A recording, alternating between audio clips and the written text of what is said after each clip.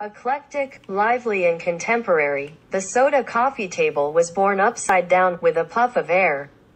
Made from a unique piece of Murano blown glass. It features three petals that form the stem and support the table top.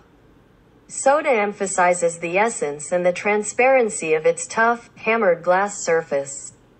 With class and ethereal beauty, this coffee table fits perfectly into the living room, providing extraordinary effects of light and shadow.